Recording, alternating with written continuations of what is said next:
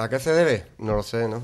Eh, lo, habíamos hablado antes del partido, que la actitud es fundamental. Mi equipo sin actitud es un equipo vulgar.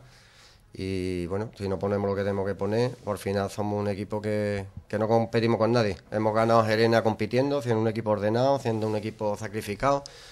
Y hoy, bueno, no ha sucedido nada de eso. Es cierto y nos excusa que tenemos muchas bajas de gente dentro de la plantilla que somos cortistas, somos gente importante.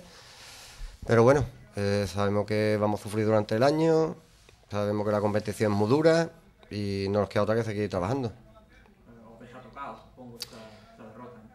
Sí, hombre, claro, eh, tenemos esperanza de sacar aquí algo positivo y más ante un rival directo, ¿no? Que ahora mismo se nos escapa tres puntos, que se nos pone más distanciado la salvación y que tenemos que sufrir mucho más. Ahora nos obliga prácticamente a ir ganando partido a partido, ya un punto casi que no nos vale.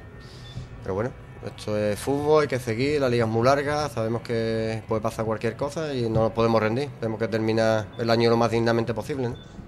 Pese a, aquí es verdad que no ha competido como en otras ocasiones la boteña, yo pienso que los tres goles han venido de fallos individuales.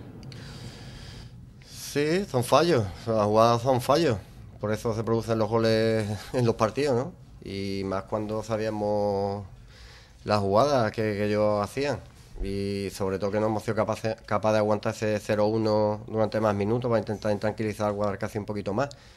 Eh, creo que de, de estar eufórico nos han metido un mazazo con el 1-1 y a partir de ahí yo creo que hemos desaparecido, nos han dominado en todo como he dicho antes y son campos donde tú tienes que poner 100%, concentración, garra, trabajo y nos faltan muchas cosas hoy.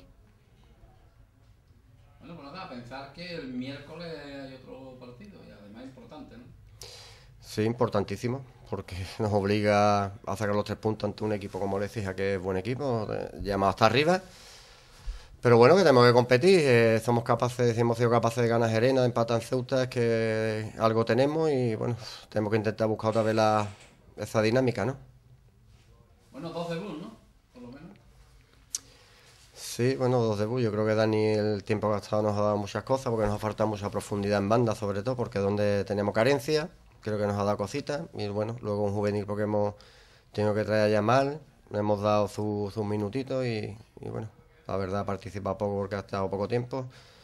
Pero lo importante es eso, y tirando de la gente que tenemos, que, que es poca y todo el mundo tiene que ayudar y remar. ¿Vale? Vale, gracias.